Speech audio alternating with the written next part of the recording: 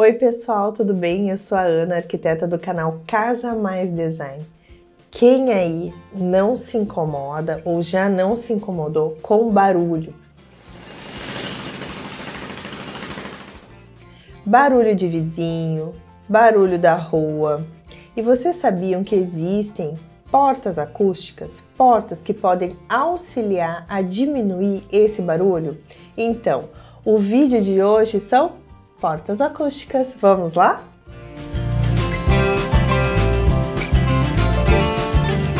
Então, gente, enquanto eu tô aqui gravando esse vídeo sobre portas acústicas para você, eu estou aqui no meu apartamento e em cima de mim ou embaixo, eu não sei bem de onde que vem, tem alguém em obras.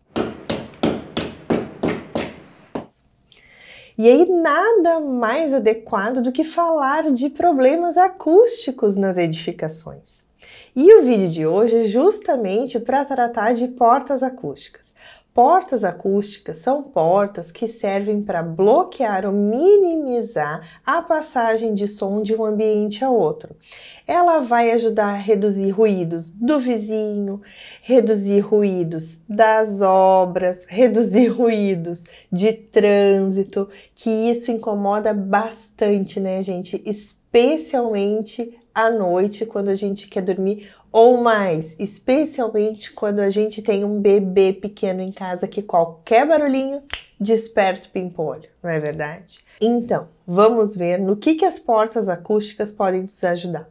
Esse tipo de porta é uma porta que é amplamente utilizada em cinemas, por exemplo, onde a gente tem espaços, né, onde a gente não quer interferência de sons dos espaços adjacentes dentro de uma sala de cinema. Então, portas acústicas são muito bem-vindas nesses locais, mas a gente pode aplicar essa tecnologia dentro da nossa casa também, especialmente em alguns locais chave. E quais são esses locais? A porta de entrada, da residência, especialmente se você mora em um local bastante movimentado. Então, a porta de entrada da residência pode ser uma porta acústica.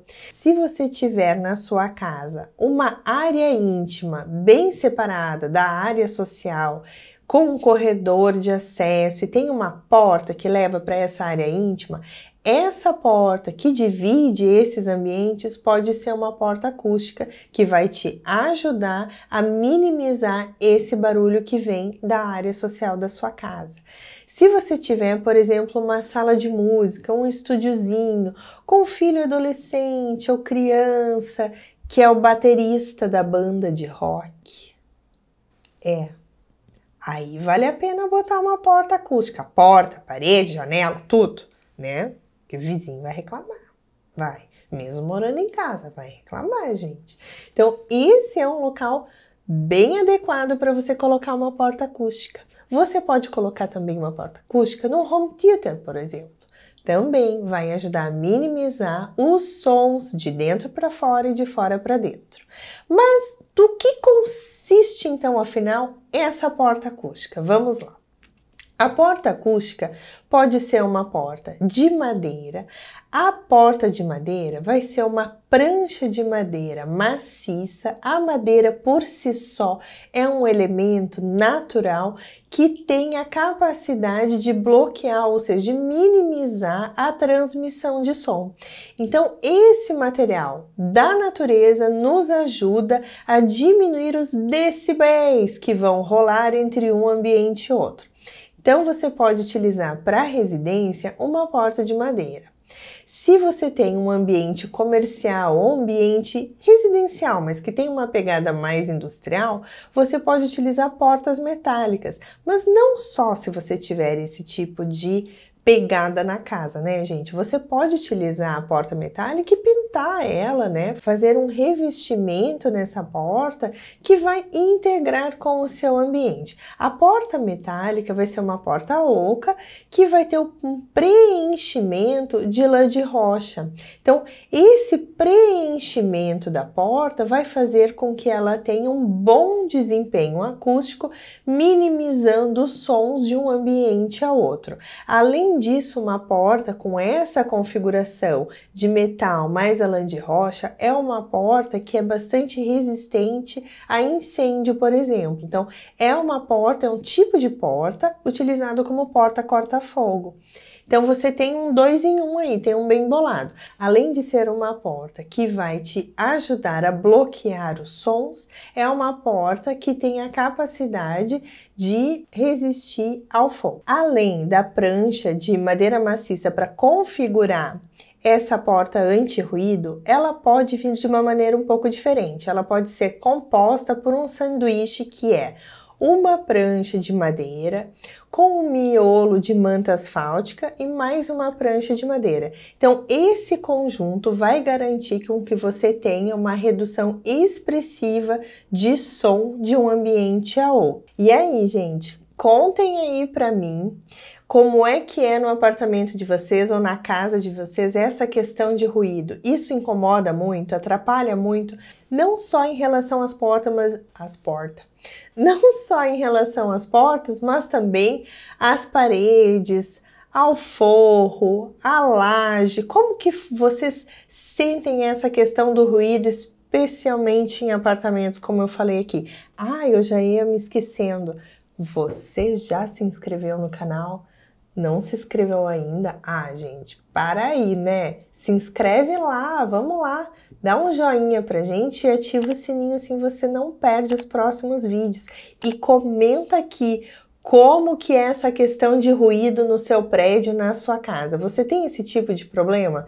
Eu que estou planejando a minha casa nova lá em Ivoti, no Rio Grande do Sul, eu acho que não vou ter mais ruído, porque é quietinho, tranquilo. Acho que o ruído vai ser mais de dentro para fora do que de fora para dentro. Vamos ver. E pessoal, então, além das pranchas das portas serem confeccionadas de uma maneira diferente ou serem compostas de uma prancha de madeira maciça, a gente precisa verificar o batente dessa porta. Por quê? Porque a gente precisa ter um acabamento em borracha em volta desse marco para que você possa ter um fechamento nas laterais, ou seja, no perímetro, né? Na verdade, não no perímetro, porque na soleira não vai essa borracha, mas nas laterais, a gente precisa, nas laterais e na parte superior, a gente precisa ter essa borracha de vetação, porque o som ele viaja pelo ar e onde passa ar, passa som. Então, a intenção dessa borracha é fazer um bloqueio de passagem de ar e minimizar assim a passagem do som aí vale a pena verificar com o fabricante que você escolher qual é o perfil de borracha e testar essas borrachas na aplicação da sua casa. Por que, que eu falo isso? Aqui no meu apartamento eu não tenho portas anti-ruído, mas a gente tem que já veio, né, do apartamento, enfim, foi nos entregue dessa maneira. A gente tem uma borracha ao redor, né, do batente, mas vou contar para vocês eu acho que essa borracha faz tanto barulho e ela me incomoda tanto que eu não sei se eu gostaria de mantê-la na casa nova. Ao menos não vou procurar uma borracha com o mesmo perfil. O que que acontece? A borracha que eu tenho aqui, ela é de um perfil oco. E aí quando a gente puxa a porta, vem parte da borracha junto, faz aquele clatch. Olhem o barulho.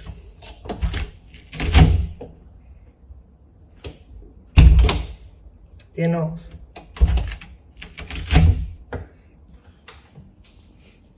Ó, aqui tem esse perfilzinho, ó. Ele é fofinho. Tudo bem, ele ajuda a amortecer a, a porta quando a gente fecha, mas eu acho que é em função desse, desse vazio que tem dentro do perfil que dá esse barulhinho. Vocês acham irritante também? não é bom. Então você está evitando o ruído, mas daí você está proporcionando um ruído estranho, irritante dentro de casa. Então por isso eu falo, procure o fabricante e faça um teste antes de aplicar as borrachas em todas as portas, para junto com o fabricante verificar se o perfil dessa borracha é o mais adequado, se ele não faz ruído e ter esse desempenho que é bloquear, ou seja, minimizar os ruídos de um ambiente para outro. Tá bom, pessoal? Gente, eu espero que vocês tenham gostado desse vídeo das portas anti-ruído. Eu já escolhi alguns locais na minha casa nova para colocar, que vai ser onde separa a área social da área íntima, a porta de entrada e eu acho que eu vou ter um cantinho lá, sabe, para aquela bateria para as crianças. Hum, eu acho que lá vou botar também. E aí, falem para mim, onde vocês gostariam de ter esse tipo de porta, onde vocês gostariam de ter um isolamento acústico eficiente em casa, tá bom? Gente, super, super beijo. Um pouco barulhento, mas beijinho pode, né?